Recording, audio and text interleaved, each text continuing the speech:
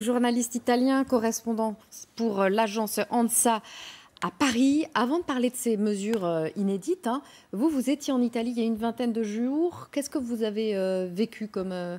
Écoutez, moi j'ai été impressionné parce que j'ai pris mon avion à Orly et une heure et quart, une heure vingt après, j'ai atterri à Venise.